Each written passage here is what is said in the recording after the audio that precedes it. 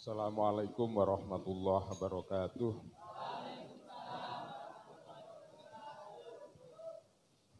Kodimai derek sing sampun-sampun mawon. Waktune singkat.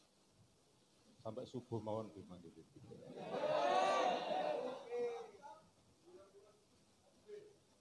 Eka. Gampang.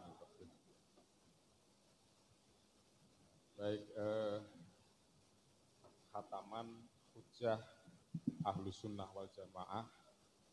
Arek piro sing khatam iki? Akeh.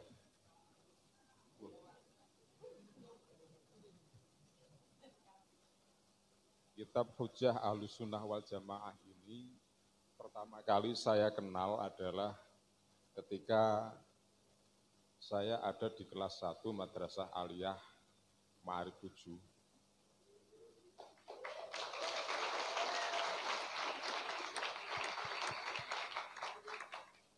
Tapi kitab ini adalah suplemen aja, tambahan tok. Ahlu sunnah wal jamaah yang diasuh diulang langsung oleh Abah Yai di kelas. Itu dengan referensi wajib satu bulughul marom, yang kedua adalah 40 masalah agama 4 jilid yang ditulis oleh Profesor Dr. Kiai Haji Sirojudin Abbas ditambah dengan iktikot ahlu sunnah wal jamaah, wal jamaah oleh Sirojudin Abbas, Profesor Dr. Haji. Ya, itu wajib. Satu jilid kitab itu kalau tidak salah tebelnya 240 halaman. Itu diselesaikan satu tahun. Kemudian ditambah kitab ini. Gus Haris Al-Gondrongi mana tadi? Tadi ke rumah saya dan minta untuk sanat hujah ahlu sunnah wal jamaah. Saya mendapatkan kitab ini sanatnya adalah dari Gus Zaim. Gus Zaim itu putune Yai Maksum Lasem. Yai Maksum Lasem punya putra yang mu'alifnya kitab ini Yai Ali Maksum tak bacakan, tak jelaskan, tak ceritani biografi ini di sini. Baru nanti tak wacana kitabnya. Jadi Ali Maksum kecil, namanya Ali, jadi saya dapat dari Gus Zaim, makanya kalau sampean semua ngaji ke saya ini nanti, maka kalian semua dari saya, saya dari Gus Zaim, Gus Zaim dari Pak Liknya sendiri yaitu Ali Maksum. Jadi saya hanya kedangan situ langsung pada mu'alifnya, langsung pada pengarangnya. Ali Maksum diasuh langsung oleh ayahnya, Yai Maksum di Lasem. Lasem itu terkenal dengan kampung pecinan. Akeh Cinone. Kalau mau ngasuh kawero tentang pluralisme, sahabat-sahabat PMI, rekan-rekan IPENU, ngajilah ke sana. Ya, kapan hari saya mengajak sowan sekitar 35 tokoh dan juga dokter yang 95 persen Kristen. Tak ajak sowan untuk belajar pluralisme di sana, Alhamdulillah. Harapan saya adalah itu pintu pertama mereka mudah-mudahan mendapatkan hidayah. Setelah dari itu terus kemudian saya ajak sowan ke Mbah Mun, waktu itu Mbah Mun masih ada. Saya di Mbah Mun pernah ngaji tafsir Jalalain dan kitab Ihya Ulumuddin. Tak pikir sudah lupa dengan saya. Saya paling belakang kemudian dipanggil, kemudian diminta untuk duduk. Saya duduk ngeloso, enggak boleh. Diminta duduk di sampingnya, kemudian mengatakan semua tokoh ini nggak bisa hadir ke sini tanpa yang ada di samping saya paling seneng kan disenengi kiai ya. Karena yusarul mar'u ma'aman ben wong iku dikulumpukno karo wong sing disenengi. Sampean seneng Habib Abdurrahman Al-Atos ben yo bareng melbu swargane Gusti Allah bareng karo Habib. Ya. JJ karo Habib Gondrong.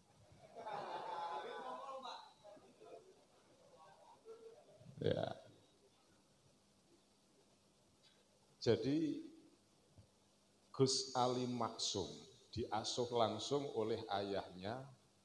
Setelah itu terus kemudian beliau di pondok Nenang Termas Pacitan di bawah asuhan Yai Dimyati. Yai Dimyati itu masih saudaranya yang Mahfud Atur Musi Termas yang menulis kalau urusan sanat kitab yang ditulis oleh Syekh Mahfud Atur Musi adalah Kifayatul Mustafid. Apa?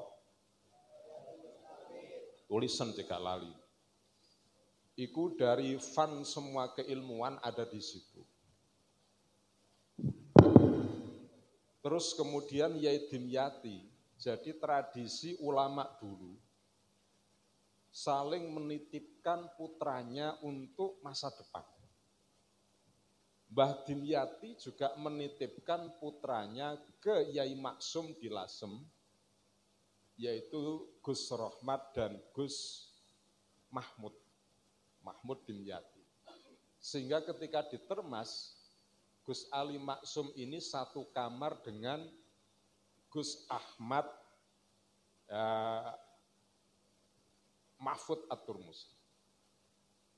Karena merasa lebih junior, maka dia terus kemudian banyak ngasuh kaweruh, banyak belajar terutama tentang kitab kuning kepada Ali Maksum. Satu kamar. Jadi itu tradisi ulama-ulama dulu saling menitipkan putra-putranya ke pondok yang itu adalah teman kerabatnya sendiri. Maka tidak heran kalau manuskrip atau berapa peninggalan buku dari Syekh Mahfud Atur Musi yang beliau meninggal di Timur Tengah di Makatul Mukarramah, ini banyak yang ada di Kudus. Nah, selepas itu terus kemudian beliau pulang. Anak-anak sekalian ada dua hobi, dua kegemaran Yai Ali Maksum atau Gus Ali Maksum saat itu, Ya podo karo sampean gini ki, seneng musik. Tapi tak lihat selera musiknya Yai Ali Maksum dibanding dengan sahabat-sahabat dan rekan-rekan semuanya setinggian Yai Ali Maksum. Karena apa? Beliau hampir menguasai semua jenis musik dan beliau juga menguasai ilmu musik jazz. Ini-ini kan gak ngerti-ngerti musik jazz tuh. Dan lagu-lagu yang dihafal itu adalah lagu-lagu barat. Ini paling dangdut koplo barang ngono Ya. Ini luar biasa, ya Maksum. Yang kedua, hobi dengan mutolaah kitab sehingga ketika ditermas Yai Ali Maksum ini mau kamari ngono berantakan kabeh buku ini karena ndelok kono buka kono buka kene buka kene. Jadi cirinya orang kutu buku itu satu cirinya. Bukunya tidak pernah tertib, Gak hanya dipakai hiasan per kamar, ono template-tempelan buku, belas sampai gak tahu dijemok belas no ndukure itu ada apa belduke ya ora tahu dilapi. Ada teman saya sekarang jadi penulis, punya penerbit juga. Waktu di madrasah sanawiyah, nggak sini di Jombang, sampai di Alia, hobinya cuma satu. Ngelapi kitab kiai ini waktu ada di perpustakaan ora tau maca dilapi apa to ngene iki arane ngene. Dilapi terus dilapi. Dibarokati ngelapi kitab kiai ini waktu nang pondok, waktu di perpustakaannya itu pulang dia menjadi penulis. Pulang tiba-tiba dia memiliki minat baca yang tinggi. Yai Ali Maksum pulang, tidak lama terus kemudian tahu kealimannya tahu kepinterannya, kearifannya, terus kemudian Yai Munawir Kerapiak datang. Kerapiak itu nih, Boroh Jogja, Keranjing Ulon Jogja. Datang, datang apa? Perlunya apa? Lain yang ditunggu-tunggu, dilamar. Dilamar untuk mendapatkan putrinya qabil tu nikahaha wa tasbijaha bil mahril madkur halan tulis cepet kawin. Jadi menantunya Yai Munawir kerapia lek sampean delok nok perpustakaan ada kamus Al Munawir. Ali Maksum ketika ditermas mendapatkan julukan apa? Munjid berjalan. Munawir, iku ngisore munjid sean, munjid berjalan saking apali mufradate sak munukai, maka tidak heran kemudian diambil menantu oleh Yai Munawir. Ketika Yai Munawir kapundut meninggal, pondok pesantren Al Munawir Kerapia ini dapat satu hari banyak santri yang boyong. Yang jumlahnya sebelumnya banyak, hitungannya tinggal puluhan ya tinggal puluhan. Jadi fluktuatif sekali. Akhirnya apa? Akhirnya terus kemudian mencari solusi ini persoalannya apa? Persoalannya adalah mungkin karena faktor pengetahuan dari penerusnya yang masih di bawah standar atau apa gitu. Delok waktu itu orang yang paling dinamis dalam berpikir tentang kemajuan pondok pesantren tidak ada yang lain kecuali sang menantu andalan itu. Maka terus kemudian putra putrinya Yai Munawir sowan nang lasem. Pesantrennya namanya Al Hidayah agar mau berkenan untuk boyong nang kerapyak. Nah, podo-podo di pondok eh. Miwon, sami, mawon. Tidak mau. Sampai akhirnya ibu mertuanya datang ke situ merayu lagi, maka tidak bisa ditolak. Akhirnya datang ke sana. Tidak lama terus kemudian beliau dengan pemikirannya, perjuangannya, kegigihannya, akhirnya Pondok Al Munawir Kerapia menjadi pondok yang besar sampai saat ini. Terkait dengan Harlah NU, akhir. Ya, bagaimana peran daripada mu'alif kitab hujah ahlu sunnah wal jamaah ya Ali Maksum? Setelah meninggalnya Rois Akbar. Rois Akbar itu situ dalam sejarah KNU-an hanya Khadratus Syekh Mbah As'ari setelah itu mungkin disebut dengan Rois Am setelah Mbah Hasim, maka kemudian Rois Amnya saat itu adalah Kiai Bisri Samsuri. Pondoknya jenenge apa? Iya, nggak Mbah Hasim. Mambaul Ma'arif Denanyar, saya alumni. Ya, saya alumni Mambaul Ma'arif, pas cucunya, mertui cucunya yaitu Sohib Bisri, yaitu Sohib Bisri punya menantu yang alimnya luar biasa namanya Zaidan Hadi. Di Zaidan Hadi saya mendapatkan sanat kitab Ihya Ulumuddin, mendapatkan sanat kitab Asbah wan Nadhair, mendapatkan sanat kitab Sarah Hikam Ibnu Athaillah. Telu-telune isuk ngaji, sore kuliah, awan demo.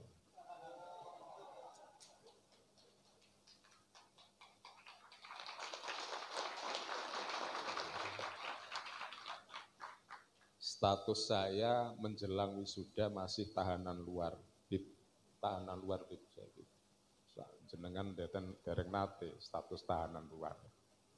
Karena demo demo besar yang nanti akan berujung pada demo 98. Akhirnya wis balik ben-ben tak ceritaan. Ya. Dan hati itu min karomatihi di antara kekeramatannya adalah santri sak masjid itu wiritan apa ini baru. Ono santri maca hizib nasr disentil kupingi langsung. Tak usah maca hizib nasr. Beliau sendiri itu ba'da sholatil maktubah sing diwirit apa Alfiyah Ibnu Malik. jurumiyah. Faridatul bahiyah. Nadoman-nadoman ngono ku sing diwirit. Ternyata ya sekti ya. Iya. Langitmu gak iso sekti tak? Di antara gurunya muassis Nahdlatul Ulama ada Syekhuna Khalil Wamin karomatihi keramatis Syekh Khalil Bangkalan. Wayah-wayah koyok ngene iki cah. Ono petani yang mengadu. Ono apa, Jung? Waktu itu Syekhuna Khalil sedang membaca kitab Jurumiyah. Ono apa? Niku yai Niki konco-konco tani sedaya niki nandur timun. Lah timune dicolong wong terus, nyuwun ijazah. Wis tak ijazahi koma zaitun. Ijazah koma zaitun. Wong percaya. Sing penting kan sugestinya, sing penting percaya, percaya. Nah, percaya mulai diwirit koma zaitun, koma zaitun, koma zaitun, koma zaitun. Delalah delok nang sawah ana wong sing gak iso lungguh. Niku malinge. Lah ya sakno gak iso lungguh. Ngadeg terus. Ya lek ngadeg sikile tok, lek sikil nomor telu milu ngadeg. Akemeng. Ora iso. Petani-petani ini tidak bisa untuk mendudukkan kaki termasuk kaki tiga tidak bisa. Wah, barit kan kok guyur itu. Artinya apa? Sowan mali, ono apa ini? Nggih yai. Pun kok imun. Apa? Kok Mas Zaitun kalau wingi sampun saiki kok imun. Terus boten saged pinarak. Kabeh nggih. Watek kabeh parani karo Syekhuna Khalil dijemok langsung iso ngelimprek ya wis kapok. Setelah itu di Madura tidak ada pencurian timun. Jeng remehno nadoman imriti jurumiyah alfiyah. Ngawur ya. Kena koma zaitun kan. Apa kok cepet nona lawang ala kare. Gus Haris guyu. Muga-muga nikah Gus Haris hari Nah, setelah uh, siapa? Mbah Bisri meninggal. Maka Munas memutuskan, itu enggak mau siapa yang akan menggantikan Rois Am. Karena ini jabatan tidak tidak geme-geme. Gitu. Akhirnya poro kiai di antara Ahmad Siddiq mengatakan, ini tidak ada yang pas yang menjabat sebagai Rois Am kecuali Yai Ali Maksum. Nangis Yai Ali Maksum. Dirayu, dipaksa, akhirnya mau, tapi maunya hanya satu periode. Menuntaskan dan setelah itu terus kemudian karena apa? Ini jabatan yang sulit pada saat-saat yang sulit sebagaimana kelahiran PMI yang diceritakan tadi itu. Lebih sulit lagi saat itu karena Pak Idam Khalid dengan Ya As'ad sedang berpolemik. Satu, salah satunya mengundurkan diri. Dan setelah itu bagaimana ketika muktamar yang ada di Situ Bondo yang ke-27 dengan penerimaan asas tunggal Pancasila. Maka moto harlah saat ini tepat sekali menyebarkan ahlus sunnah wal jamaah dan meneguhkan kebangsaan. Itu ngaji kabeh pokoknya. Apalagi Kapolrinya walaupun non muslim memerintahkan pada jajaran kepolisian ngajio kitab kuning. Kapolri pertama kali di Indonesia yang mengharuskan jajaran kepolisian ngaji kitab kuning. 2003 saya ketemu dengan wartawati Sandaitem, tanya ke saya, sampean dari mana? Dari Sunan Derajat NU ya? Ya. Kitab kuning? Ya. Tidak akan pernah ada masalah. NU pesantren dan santrinya yang ngaji kitab kuning tidak akan terbentuk orang-orang yang radi radikal. Eh, saya dibuka buka kitab itu dibuka sarungi. Bismillahirrahmanirrahim. Qala al-musannifu rahimakumullah wa nafa'ana bi ulumihi ini amin. Bismillahirrahmanirrahim. Piro ini? Haris. 104. Aku 104 tak tengeri. 104 ini diawali dengan 103. Wa qala al-Imamul Ghazali lan ngendika sapa Imamul Ghazali rahimahullah wa nafa'ana bi ulumihi wa nafa'alan muga-muga paring manfaat sapa Allah. Na ing kita bi ulumihi kelawan pira-pira ilmune Al Ghazali manfaat nang kita. Sing teko iki didongakno muallif muga-muga entuk manfaate ilmune Imam Ghazali. Man utawi sapane wong yutawassalu iku den tawasuli sapa man wa yutabaraku lan den alap barokai fi hayatihi ing dalem uripe man. Ya yutawassalu mongko den tawasuli wa yutabaraku lan den barokai sapa bihiman le uripe iso dijaluki barokah ya sak paten patine iso dijaluki barokah. Nang Mbah derajat tabaru tabarukan hakikate kita minta kepada Allah tawasule nang Mbah Sunan Ba'da mamatihi ing dalem sause matine man wa dzukira lan den tutur anil arif bilakut bidaira Asyih Abdul Wahab Asy-Sya'rani. Ya, Abdul Wahab Asy-Sya'rani ku kitabe sing terkenal Lato Iful Minan. Ana jenenge Minan. Sing maca puisi mau. Lato Iful Minan itu tidak hanya miliknya Asy-Sya'rani, Ibnu Atta'illah As-Sakandari juga menulis kitab judulnya Lato Iful Minan, tetapi yang ditulis oleh Ibnu Atta'illah Sakandari itu Lato Iful Minan terkait dengan manakib cerita-ceritanya siapa? Abu Abbas dan gurunya yaitu Abdul Hasan Asyadili. Itu terkait dengan manakib. Tapi yang ditulis Sa'roni, ya, Mbah Sa'roni, Syekh Sa'roni itu tentang bagaimana perjalanan sufistik seorang salik, orang yang menempuh jalan akhirat. Ya, itu. Sing liyane sing nok pondok iku ana maneh sing sampean weruh tomba kotul kubra, kemudian ada lagi Mizanul Kubra. Itu ditulis oleh Wahab Asy-Syahroni cilik rembes-rembes ngene iki kok rungono ae. Ya, anna ba'dha masyayihi sak temene setengah pira-pira gurune Abdul Wahab Asy'aroni ku yaqulu innallaha ta'ala yuwakilu ku masrake sapa Allah jika beriku liwalian kalawan kuburane saben-saben wali malakan ing malaikat. Dadi nek kuburan iku ana malaikat sing dipercaya mandatari sing. Ya kedhi nekaake sapa malak hawa ijaman ing pira-pira kebutuhane wong tawassala kang wasilah sapa man bihim kelawan uli waliyin kama kaya barang wako akan terjadi. Apa dalika mengkono-mengkono. Iku mau.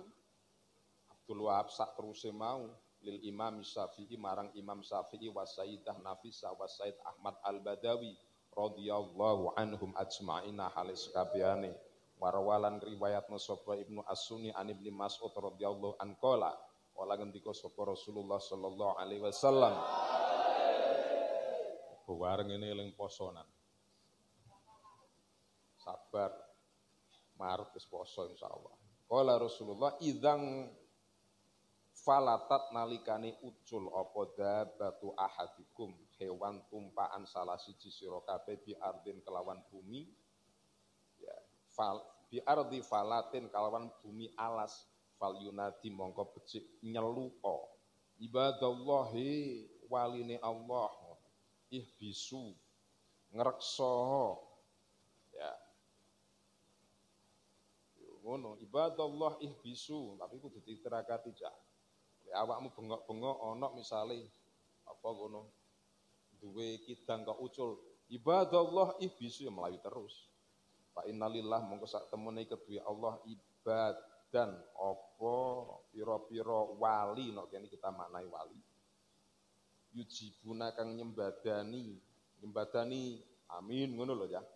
Wa engman enggak maksudnya lek apa ono ibadallah ibisu amin. Walah ora nyambung blas Fa idza adzalla mongko nalikane kelangan sayan ing suwiji-wiji wa aradalan ngarepno sapa ahad? Aunan ing pertolongan falyakun mongko becik ngucap sapa ahad ya ibadallah agisuni agisuni. Lek pacarmu ilang. Pokono no ya ibadallah agisuni ya ibadallah agisuni. Sesuk moro-moro ndodok lawange omahmu perlune mas putus saja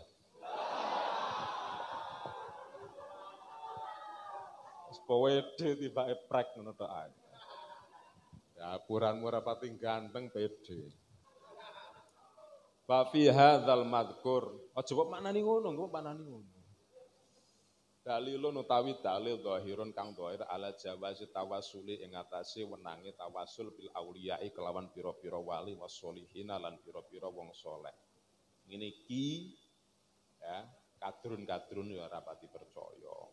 Tapi lapo gatekno wong gak percaya. Hai sukana ing dalem sekirane ana sapa Kanjeng Nabi alaihi salatu wasalam iku yaf'alu. Agawe sapa Kanjeng Nabi zalika ing mengkono-mengkono matkur binafsi kelawan awak dhewe Kanjeng Nabi wa ya'muru lan perintah sapa Kanjeng Nabi bi kelawan tawasul merintah ashabau ing pira-pira sahabate Kanjeng Nabi wa qala al-arif billah. Ndika sapa al-arifu wong kang arif arif billah. Diarani ma'rifat Al-Habib Abdullah bin Alawi Al-Haddad. Kene ana Habib, no kene ana Habib bisa. Mongol karo sing temenan. Lek kapan Habib Abdullah bin Alawi Al-Haddad nok pondok pesantren terkenal kitabnya adalah Naso Yahud Diniyah sampean ngaji ngono kok lek poswan radhiyallahu an wa nafa'alan muga-muga paring manfaat na ing kita bi ulumihi amin yang bagi seharusnya lizairi kedua wong kang ziarah ida zaro nalikane ziarah sapa zair kubur sholihina ing kuburane pira-pira wong kang apik wong kang soleh ayat inna ing yen anteng sapa zair. Aja bedigasan lek ziarah sweet-sweet ngono barang Ora usah kono sing anteng, soale sing sampean tepi iku waline Gusti Allah indah ana sandinge kubur. Wa yastaksir lan ngekeh-ngekehno ya sapa zair minal istighfari saking maca istighfar. Akeh-akehno maca istighfar. Saya pernah membaca majalah apa ya arane majalah Al Muslimun bukan al-muslimun yang ekstrim. Ku Gusaris, ono rondo, wayu, teles, ditinggal bojone wisan, bojone mati, anaknya wakeh, jelas sama gak gelem, senajan wayu.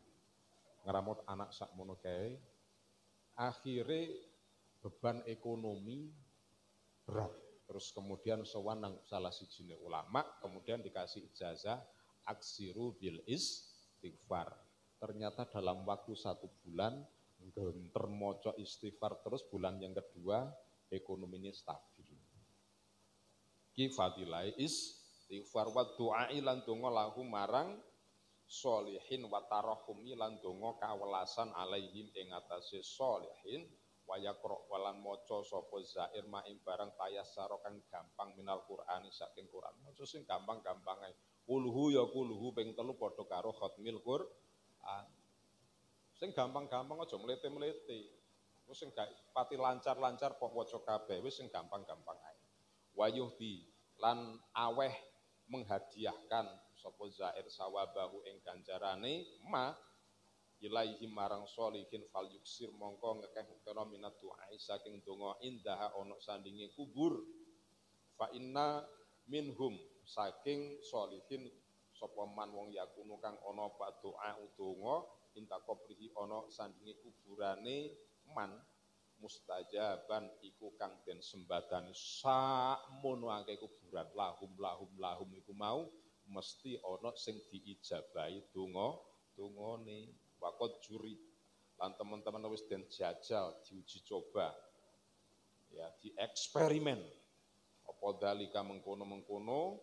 Mustajaban hatta anna ahla Baghdad. Sehingga saat temene penduduk tanah Baghdad usamu nangarani kobro Said Imam Musa Al-Kadimi ngarani Ibnu Al-Imam Ja'far As-Sodiq At-Tiryaki Al-Mujarrab ing aran Mujarrab ya, obat kang mandi. Kuburane nek kono mujarab iku. Ailis tijabati doawati krono nyuwun den sembadani pira-pira donga wang kisah bil muhimmati lan ilangi pira-pira perkara kang nyusake wa kadzalika lan kaya mengkono-mengkono qabru Musa kadim cicite Kanjeng Nabi iki Ma'ruf al Karohi ana sing makna ana sing ngarokati kurhi ana sing ngarokati al karohi yusamma den arani apa ma'ruf al karohi bidzalika kelawan mengkono-mengkono atiryakul mujarrabat. Malah ma'ruf al karohi uh, kalau tidak salah di Samsul Ma'arif atau di Mujarrabat Ad-Dairobi lek hurufe dipisah-pisah iku khasiate yo akeh diantarane kanggo nyembono loro untu. Tulisane mim ain tetetet apa pisah-pisah ya. Setelah itu kemudian dikum nang banyu diombekno. Wis tergantung nawa itu nih nawa itu nih pegatan pegatan Gumaruf al karohid Wa kasiron malan akeh banget li ahli Jawa minal muslimin saking pira-pira wong Islam alladzina rupane wong akeh yakunu kang ana sapa ladina du'auhum dungane muslimin alladzina sing mok Jawa rumpukan saking akeh intaqo ba'dil auliya ana sandingi kuburane setengah pira-pira wali alladzi kang dufina kang den sareake. Aja dipendem lho ya. Pendem iku ya bangsane sapi, wedhus, ngono ku dipendem lek duvina, lek kanggone aulia disarekno. Padha karo iku anake sapa padahal gurune putrane sapa le anak iku anake pitik barang anak. Bijawa mustajaban kang den sembadani fallahu mongko utawi Allah ala kulli syai'in ing atas kabehane suci-suci uga dirun kang kuwasa tapi hadal qadri lan ing dalem ikilah qadar kifayatun utawi kecukupan. Wabillahi taufik wal hidayah. Wallahu a'lamu bis hatam ini ay wis. Pon nggih. Terusno selawatane maneh. Bibesek kuat sampai subuh. Sampean kuat apa mboten? Enggak ada wong sing kuatan. Tahan apa mboten? Kok dadi tahanan. Kurang lebihnya mohon maaf wallahul muwafiq ila aqwamit. Assalamualaikum warahmatullahi wabarakatuh.